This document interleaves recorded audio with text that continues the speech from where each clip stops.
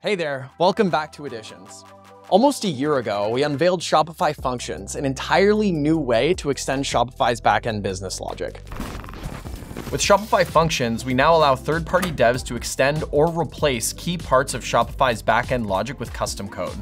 This represents a radical step forward for building commerce experiences. Since the initial launch, we've seen our developer community use functions in all kinds of new and creative ways.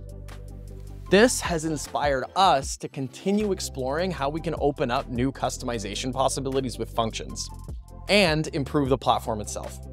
Today, we're excited to share some of the latest updates.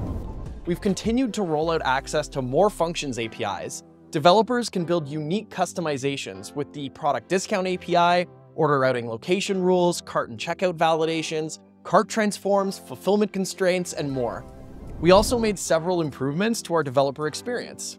First, we expanded JavaScript support to general availability. Next, we unified the development experience with all extensions to streamline your workflow. We also added the ability for functions to be versioned and rolled back with your app, and made development and iteration faster by using the Shopify app dev command. And finally, we've made it easier to test and debug functions by incorporating a function runner into Shopify CLI.